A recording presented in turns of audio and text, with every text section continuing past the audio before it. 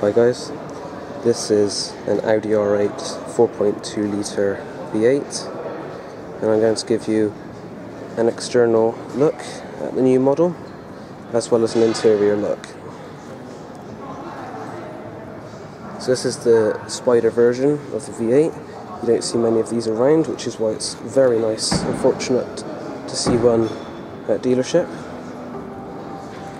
The new look looking very much more aggressive but subtle at the same time.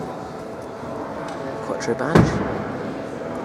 This is finished in a dark blue and it looks absolutely gorgeous in this colour. You'll see my favourite wheel option. See mine would be um, in a carbon black sort of finish but nice nonetheless.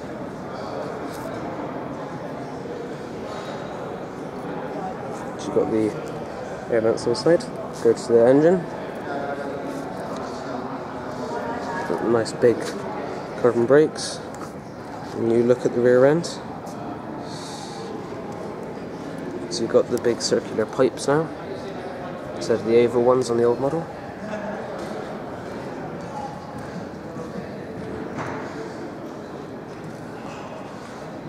So now, you should take a look at the interior, just open up. Now this one in the showroom has loads of carbon on it, which is a personal touch that I like very much.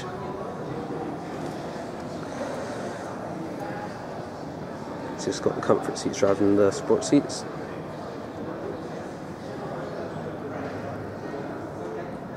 It's got the S-tronic gearbox and the sit in it.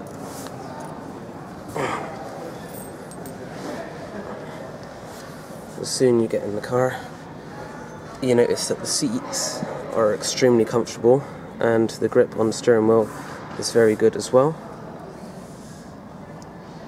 Look at the dials. This one revs to about 8, 8,500 RPM.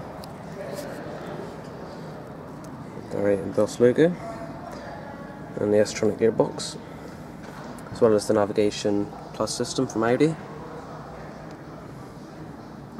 So you've got two cup holders and an extra little bit in here. You've got the uh, standard e-brake. You see loads of carbon on the door sills as well over there. And the Quattro badge.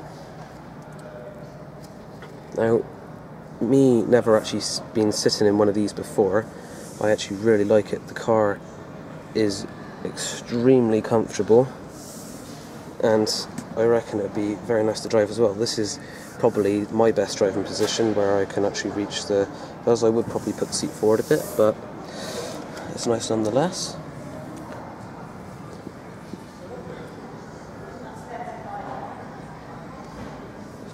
Obviously, you've got your extra um, hideaway parts on the back. And obviously the uh, out there where the uh, the hood, where the roof comes from.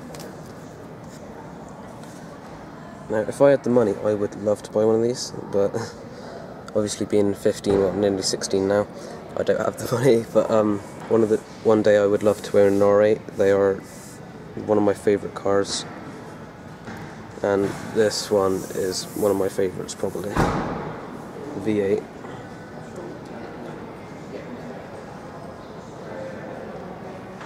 You've got little carbon around here. It goes straight around the dash. The Alcantara.